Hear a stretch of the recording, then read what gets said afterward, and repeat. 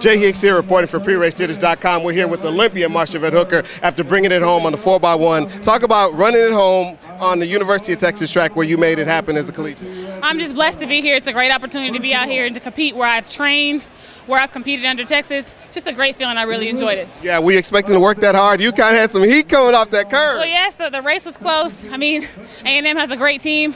I saw them come around the turn. I said, okay, this is going to be close. This is not going to be a walk in the park.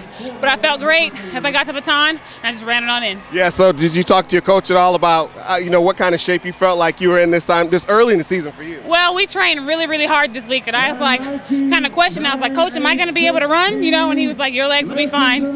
We're just using it for training. Yeah. So, who was all on that relay that you got? Um, our leadoff leg was Aleen Bailey. She runs for Adidas. She trains in Florida. Second leg was Bianca Knight. She trains in Austin. She's with Adidas also. Our third um, third leg was uh, Ladidra Guy, and she's with Adidas. And she trains in Austin to me.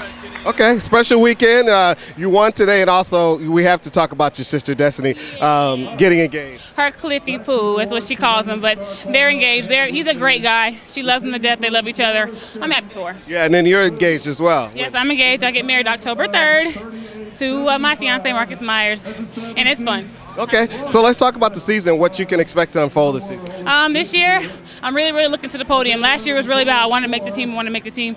Now I want to get on this podium. So I'm focusing on that every day. I go out and train, come out here and run. That's what I'm thinking about. Yeah. So what, how how is this year different than last year? Training with Jon Drummond again this year, and last year you came up and obviously made the Olympic team. This year you have that under your belt. Uh, how does that change your outlook this year? I feel a lot more confident this year. Last year was a lot more adjusting with the, with the new coach and everything, but I'm, I'm comfortable with what I'm doing.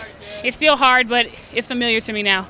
So I'm just feeding off of it to get ready. Okay. Any predictions on time this year? Um, nope, the sky's the limit. I will not put a cap on it. All right, you heard it right here. Marshevet Hooker, spending time with PreRaceJitters.com. We appreciate it. Thank you.